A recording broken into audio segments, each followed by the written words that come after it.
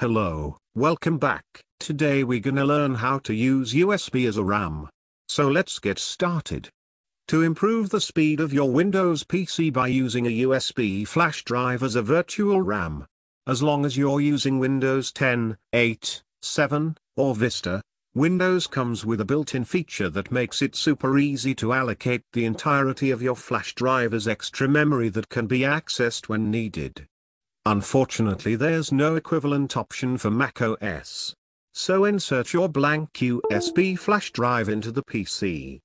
In most cases, a window called Autoplay will pop up automatically, if not just go to My PC. If drive is not blank, you should format it before you continue. Right-click on the USB and go to Properties. Next, click on the ReadyBoost tab. If you see an error on the tab says that your drive is not suitable for ReadyBoost, you may have plugged the drive into a USB port that isn't fast enough. Try a different port. If that doesn't help, you'll need to use a different USB drive. If you see an error that says the computer is fast enough that ReadyBoost won't provide any benefits, it's usually because you're using an SSD, solid-state drive. No performance gains would be possible with a USB drive in this case. Under Space to reserve for system speed, select the amount of memory that you wish to use for your USB flash drive. The amount of memory that Windows recommends is usually the best setting and should not be exceeded. Click on Apply.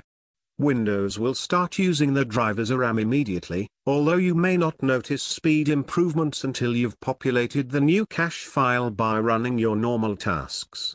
Then click Apply, OK to save changes and restart Windows to take effect the changes. In case you decided to stop using USB flash drive as an additional RAM or you just want to disconnect it for some reason, Open My Computer then locate your USB drive and right-click on it and select Properties. Go to ReadyBoost tab. Check on Do Not Use This Device. Click on Apply. Disconnect the USB drive from PC safely by clicking Safely Remove Hardware in the system tray. Overall, use USB flash drive as RAM on Windows is a piece of cake. However, it is important that you unplug your flash drive safely or it may damage the device. That's all from today, I hope this video helped to you. If it did, then don't forget to leave a like, subscribe and ask about any problem in the comment section. Thank you so much for watching.